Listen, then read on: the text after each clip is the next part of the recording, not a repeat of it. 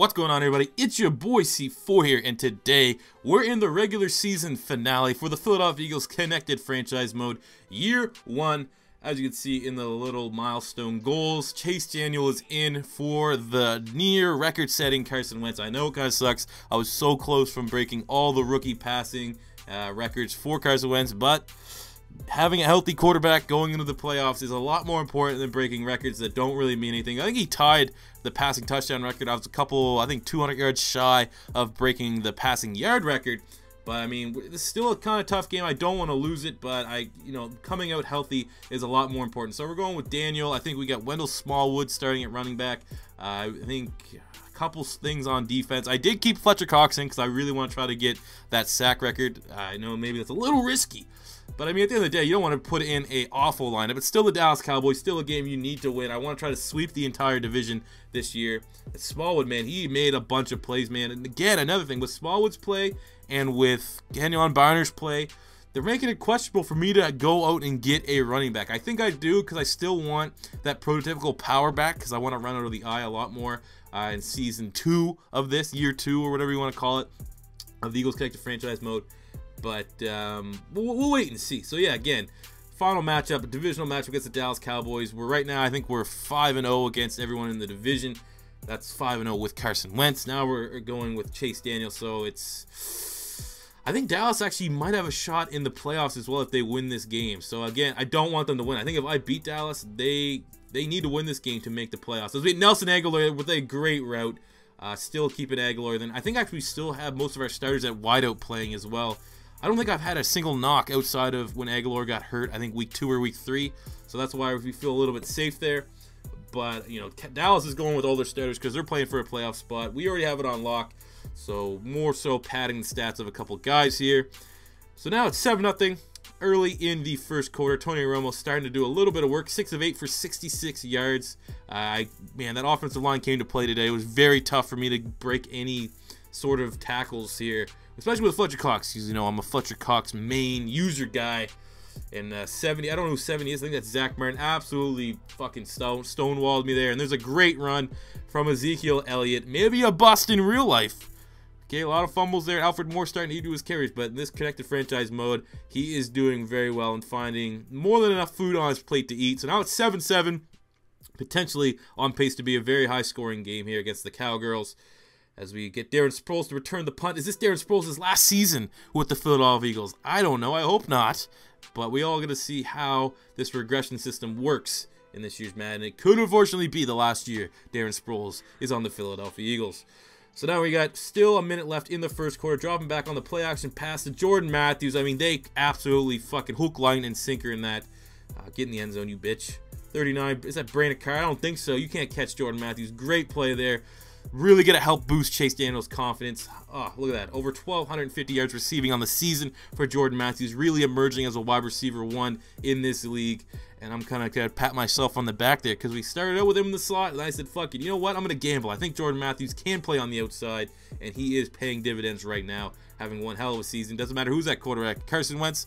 Chase Daniel, he's making plays. So now it was 14 to 7. Dallas added a field goal, and we're picking up here third and six uh, as the second quarter's under plays. Chase Daniel hits Darren Sproles, who manages to hold on to the ball after a big hit across the middle there to move the chains. 150 total passing yards here. Uh, predominantly in the first quarter. We're keeping the ball on the air, but I'm pretty sure Wendell Smallwood might not be, you know, super keen on that idea because this is his chance to shine, his chance to prove that he can be a starting running back. And we're airing the ball out but, you know, I'm impressed with what I've seen thus far. Very, very bad passer. Uh, Chase Daniel looks so good so far, 150 yards, two touchdowns, but there's been a couple questionable plays where if Dallas had a little bit better playmaking, they probably would have forced an interception. So we got to tighten it up a little bit, maybe go to the run. No, we're still going to air it out. Oh my god, I actually remember. Look, oh fuck, no, no, wait. That, there, there is an insane, maybe the best catch of this entire connected franchise mode uh, at some point in this video, as we get a juicy pass, interfe uh, pass interference call there on Anthony Brown, I should probably clickbait the title with this or make it like the thumbnail. Did I actually? I think I might have made the thumbnail. But you're to see the nastiest catch I've made in this entire connected franchise mode as we hit DGB. Nah, I fucking dropped it. Um, oh my god, now that I'm thinking about it, I can't wait for that to come up. I don't know. I think it, it might be for halftime. I'm not exactly sure. But uh, there you go. Hyping it up already. Just you fucking wait. as we continue to, for some reason, throw the ball. I guess we're forcing it to DGB. I think we're trying to get him his 10th touchdown of the season. I think that was the reason. I don't know if the little little icon thing's going to pop up there for a goal, but I believe that is DGB's 10th touchdown of the season. Almost 100% sure. So that's why we're forcing it and not giving the ball to Wendell Smallwood. But, you know, 21 to 10 for the Eagles here as we look to have another comfortable division victory. Uh, okay, third and six, three minutes left just for the two minute warning. Dallas trying to put some points on the board. Again, struggling to make any plays with Fletcher Cox. And then, oh my god, I absolutely got blown up there. Jenkins trying to take the angle on the. Oh, what? Okay, that was actually, I remember that. That was fucking gl glitchy as shit. I don't know if it was because my controller was low on battery health, but I tried to square him up and just hit A tackle. I wasn't going to fucking, you know, go for the hit stick, go for anything fancy. I just wanted to bring him down. I got Jenkins. He's a solid tackler. And then for some reason, he just took an automatically horrendous angle to make that catch. There's still some shit in Madden that they need to tweak and make a little bit more realistic. And I think open field tackles. All right, look at that, man. Come on, bro. Come on. Especially a player like Malcolm Jenkins, like 92 overall, high awareness, solid tackling. He should make plays like that. Again, airing the ball out. Looking like Carson Wentz back there. As we had Jordan Matthews for a great time reception. Great time reception. Uh, it's 21-20 here, just before halftime. I think we've had two interceptions thus far with uh, Chase Daniel. I'm not showing them because it's fucking Chase Daniel. Okay, this game here is pretty much shits and giggles, trying to stay healthy. So these interceptions, a lot of them, I'm just trying to make plays for my wide receivers to help them with their stat line. Uh, 13 to 22, 198 yards, three touchdowns, two interceptions. Look at Jordan Matthews' stat line before halftime, man. 144 yards. He is going off. He's trying to get the receiving record for this season. At least the lead. Okay, here you go. Watch this shit. Oh! Flag on the play. That's like an Odell Beckham catch. That's a pass interference call. That might be for some reason too it ruined it because of the penalty. It doesn't show the replay. And then i actually i butchered it. I was trying to go into the little replay thing myself to get the highlight of it. But i mean just just rewind the video back 10 seconds. That might that is without a doubt i'd say the best catch in this entire year one connected franchise mode thus far. I don't know if we'll make anything like that in the playoffs but another touchdown, 11 touchdowns on the year for DGB as we're up 28 to 20. Dallas got the ball back. We're now five minutes into the third quarter, second and five. They're in scoring position. Hopefully we can hold them to a field goal here. Zeke Light's having himself a nice little day. Like I said, man, kudos to this Dallas offensive line. The first time we played them, I was able to get after 20 roll. This time, uh, they were just smothering me at the line of scrimmage. Using Fletcher Cox, I absolutely got nothing. That whole uh, right-hand side of the offensive line was on point this game, unfortunately for me. Trying to break that sack record for Mr. Fletcher Cox. It wasn't going to come. Unless we can get something going in the fourth. So I was thinking maybe I should fucking use your Brandon Graham. Maybe the computer can have better luck with Fletch. But uh, maybe it's just me being a stubborn asshole. We're staying with it. Oh, we're so close every time, man.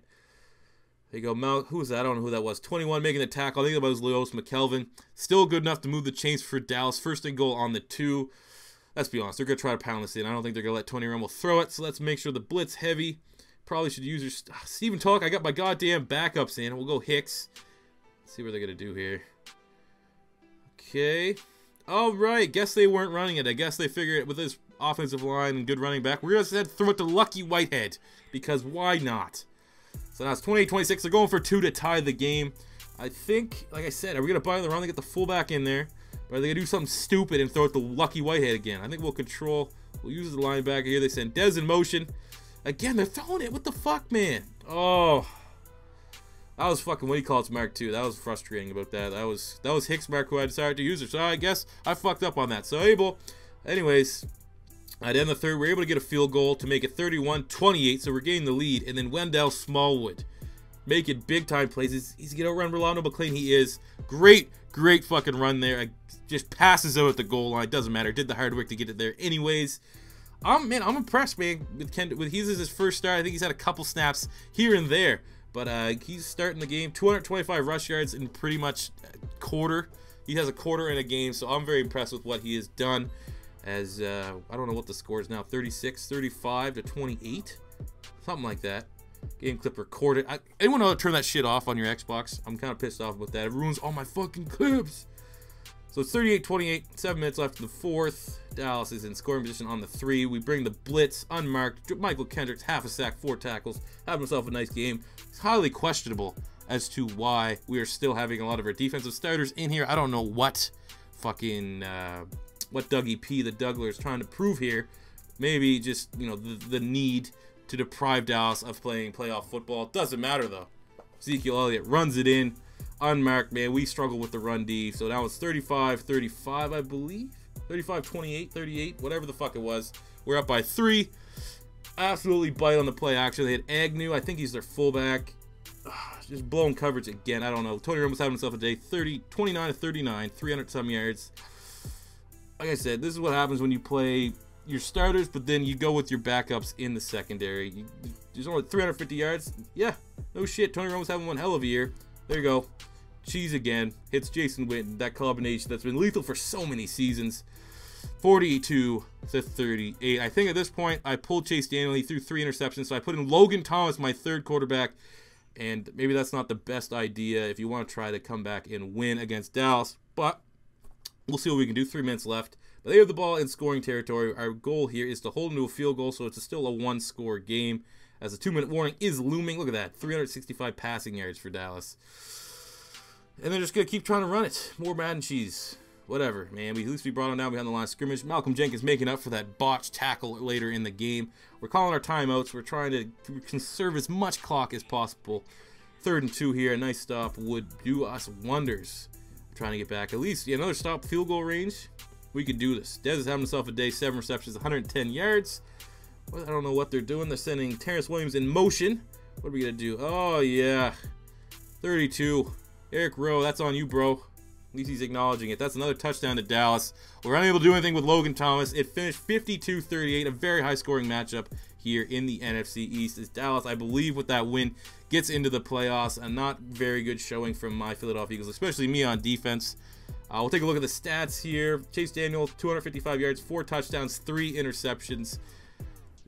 Come on, bro.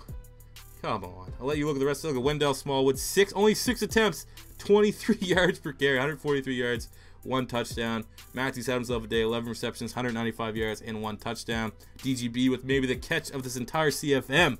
Three receptions, 87 yards, two touchdowns.